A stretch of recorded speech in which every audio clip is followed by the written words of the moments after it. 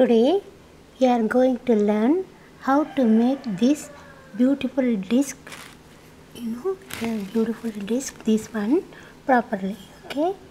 You have seen many videos about this one but we can do it very simple way. You may like it okay? Next one we are going to make it okay? Bye.